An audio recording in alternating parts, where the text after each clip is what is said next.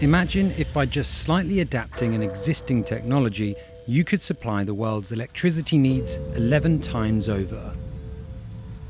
Now it's really tiny, but the potential is huge. The results we have seen is kind of is exceeding our expectations. Developers are taking wind turbines to deep water where previously they couldn't. And instead of building them onto the sea floor, they'll float on the surface you're able to go much deeper into the ocean and thus catch more of the wind that's available. Floating platforms could open vast new areas of the ocean to wind power, generating billions of dollars in turbine contracts, but also valuable clean energy. If you could do floating wind in an industrial manner, then you could really do something that might be an important factor in the fight against climate change. The race is on to develop cost efficient floating farms that can become an almost boundless source of emission free electricity. And there are already dozens of players competing to make the best design. I feel a big pressure for us to succeed, not for the sake of our company, but for the sake of making the green transition happen.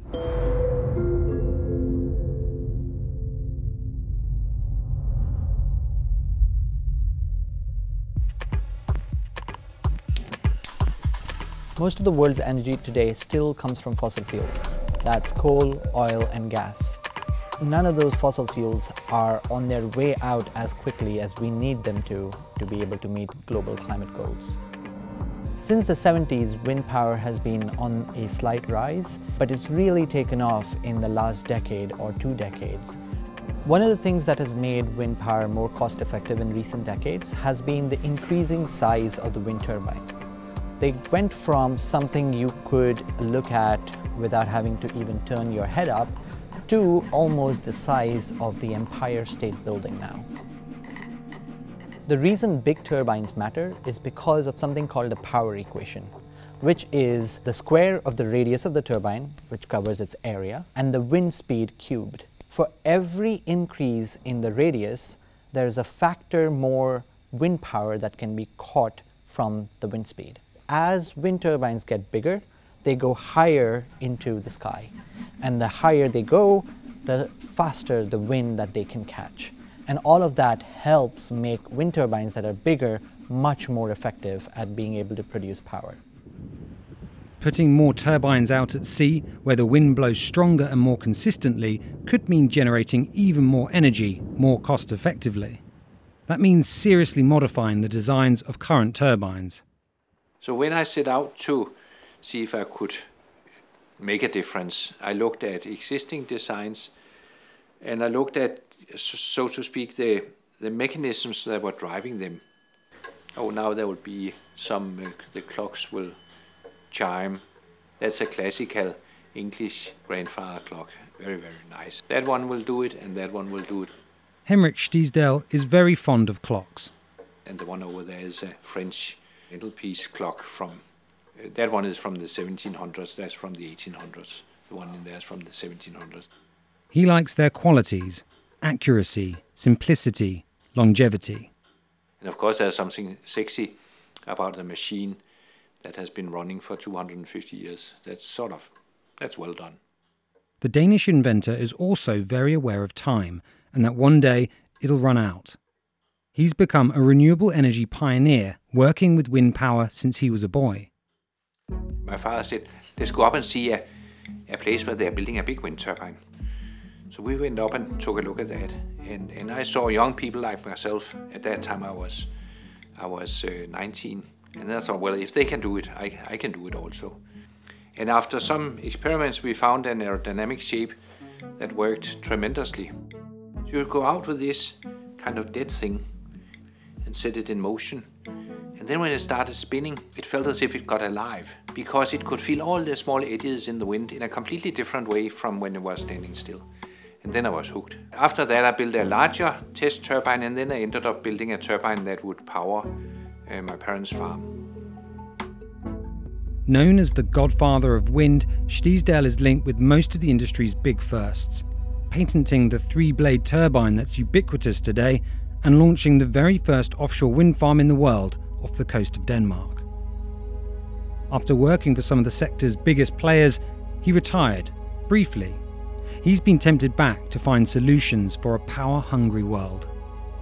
And there I landed on the idea that the combination of floating offshore wind, which is the only way you can do offshore wind in California, and to a large extent the most important you can do in Japan. So you don't always have the, the space available for onshore wind, you might not have the space available for solar. But with offshore wind, you generally have enough space. But there the challenge is that it only works up to about 60 meters of depth or something of that nature. Building foundations in the seabed deeper than this makes turbines too expensive, and so offshore turbines are only built in relatively shallow water. So one of the reasons why the offshore wind industry has done so well in Europe is because the continent is blessed with a continental shelf that extends into shallow waters for hundreds of kilometers from the coastline. That's not the case for most parts of the world. California, for example, has very deep waters very close to its coastline, which means they cannot use offshore wind turbines as a solution for their electricity needs. And that's where floating wind turbines can make a real difference because they provide an option that hasn't yet existed in an economical fashion for tapping wind power. Offshore wind can supply the whole electricity demand of the world as it is now, but it is fairly unevenly distributed, with many places not being able to exploit offshore wind because they just don't have the ocean conditions for it. If you instead introduce floating or in parallel introduce floating, you can multiply the available resource by a factor of 10. Making a wind turbine the size of the Empire State Building float out in the ocean is easier said than done. Wind turbines are not cheap. They use expensive metals, there are magnets, there are uh, those blades which have been you know, hundreds of meters long which have been constructed specifically for that purpose. So when you put a floating wind turbine out into the sea, you want to be very sure it will not fall over. The simple idea behind a floating wind turbine is that you need enough buoyancy uh, to keep the wind turbine erect and above water. And you can achieve that with a simple idea like the boat's hull, where you put a certain amount of weight underwater that provides the buoyancy to keep it erect and catch the wind. This is exactly what dozens of floating wind designs try to do. Many use the principles of a floating buoy to build a spar, a tube like marine structure that relies on gravity for stability. It's then tethered to the sea floor. One of Stiesdal's designs, Tetraspar, uses several modular steel tubes. So it's got three radials, we call them three laterals and three diagonals. And what the diagonals do is that they help transfer the big bending moments on the tower in a smart way out to the structure. So that's why we call it tetra spar. It's a tetrahedron as a geometrical shape and it's a spar because it works with this center of gravity below the center of buoyancy. It stretches some 165 meters into the air. It's got a rotor that's 130 meters in diameter. The floater itself weighs more than a thousand tons and is 60 meters from one side to the other. It can move about 30 or 40 meters away from its, its neutral position. When it has the full load on the rotor, it will heel over about 5 degrees. The turbine is a 3.6 megawatt turbine. That is a small turbine nowadays because the industry is developing so fast. If things work out as they should, it will generate about 14 million kilowatt hours a year. Well, in my home, we used about 4,000 kilowatt hours a year so this turbine will power about 3,500 homes like my home. So even though it is by modern standards a small turbine, it still is something that you can say that's kind of interesting. A, a town with 3,500 households is not a small village and one turbine can power that. Building smart green technologies will help save our planet. But to make a real impact, we need to burn fewer fossil fuels. Offshore wind is an important bridge. One industry that has benefited from the offshore wind industry has actually been the oil and gas industry because they have a lot of technology but also skills and experience working with offshore platforms drawing out oil and gas. Uh, some of those skills can be applied to uh, offshore wind power and to floating wind power, which means there is actually a route available, at least for some people, to be able to transition from what is a carbon heavy job to a low carbon job in the future, something that the world is going to need if it's going to transition away from fossil fuels. Norway's Equinor is undergoing that massive transition. Formerly Statoil, the company produces more than 2 million barrels of oil a day and is the second largest supplier of natural gas in the European market. But it's made big strides into renewables, and it's also arguably leading the pack when it comes to floating wind. Their design is called Hywind.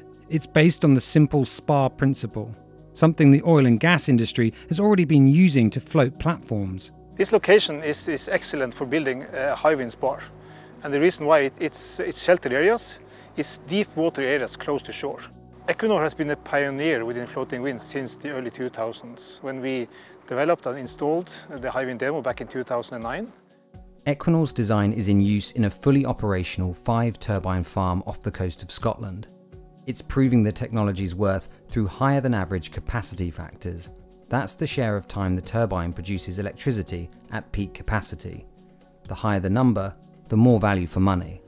The Hywind Scotland has been the best ever producing turbine with a capacity factor of 57% at, at maximum for, for several years.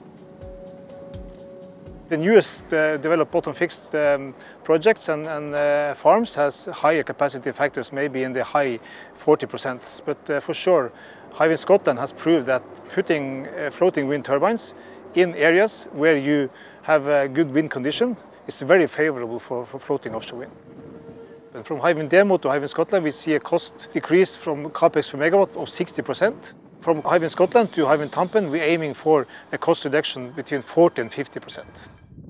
In Norway, another 11 floating devices are being constructed. Once complete, they'll be towed out to deep water. The energy the turbines produce will help power the company's oil and gas platforms, some of the region's biggest. Equinor says it will reduce CO2 emissions by 200,000 tonnes a year. We will build our legacy from oil and gas and projects execution, marine operations, and that's why we went into bottom fixed offshore wind and now floating offshore wind, is that we can use our competence, our experience, and for sure we can also finance these new developments within renewables because the cash flow we have from oil and gas. That's another advantage the oil and gas giants have. This 11 turbine project is set to cost Equinor an estimated $600 million. Within this decade, we shall invest as much in renewables as we do in oil and gas. It's not the proving of the concept, we have proved it. So this is kind of just the next stepping stone.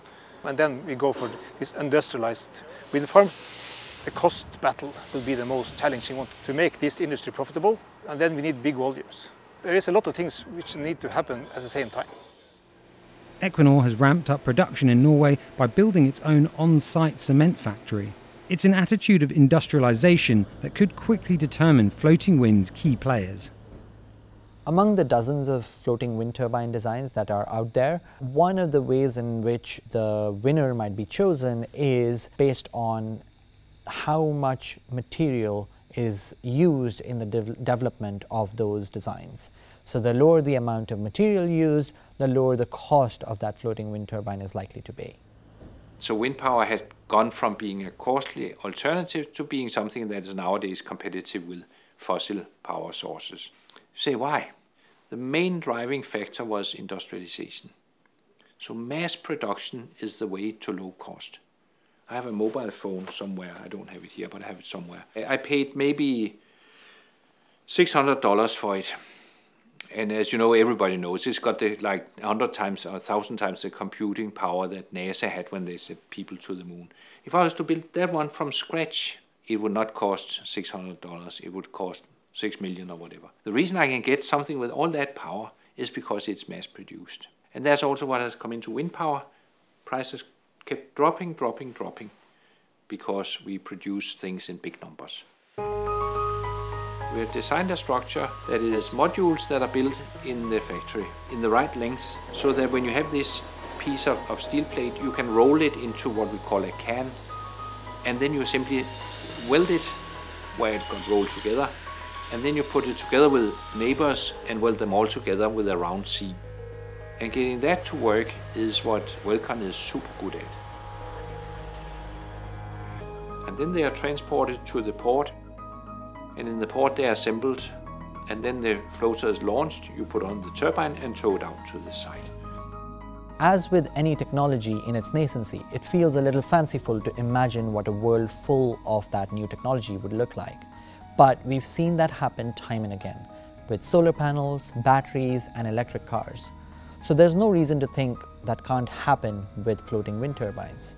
Beyond 2030, I believe, strongly believe that we will see big-scale wind farms, which is profitable, and we will see also that the ramping up, that this will be a big industry going towards 2040 and 2050. If you were to do theoretical calculations, pretty much any type of renewable energy will be able to provide all the power that the world needs. Be that building solar panels in the middle of Sahara and then cabling the world with them, or building, say, floating wind turbines in the middle of the Pacific and doing the same. So there isn't a limit on how much power renewable energy can provide. What is a limit is how much money we can spend to be able to access that power. The competition in floating wind could be brutal. Inevitably, some companies will lose out and maybe go bust. For now, the competition can only be a good thing. We cannot create all the volumes. We need also volumes from our competitors. So we, we think that this competition is important for, for, for industrializing floating offshore wind. And it could be that there could be several of them who simply outsmart us and do it in a better way. And that would be okay, because what we are doing this for is for the climate. So if somebody comes in and outcompetes us or outsmarts us and says, yeah, I heard what you said, I kind of agree on the industrialization way, I just found a smarter way to do it, he or she would be my friend.